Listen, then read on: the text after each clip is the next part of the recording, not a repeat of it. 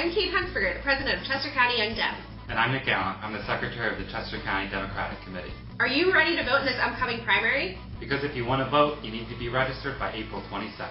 Don't worry, that means there's still time. Head on over to Votes PA in order to get your registration in.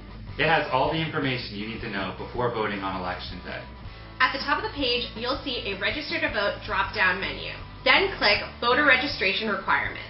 Make sure you read the page completely to make sure you're eligible to vote before registering. Next, click How to Register, and the second thing on the page is Register to Vote Online. Give that button a click, and you'll see your online voter registration application. Once you fill that out, make sure you hit Submit. Otherwise, you will not be able to vote on election day. So if you want more information on how to vote, where to vote, or more about our amazing candidates, head over to chescodems.org. And remember, there's an election in Pennsylvania every six months.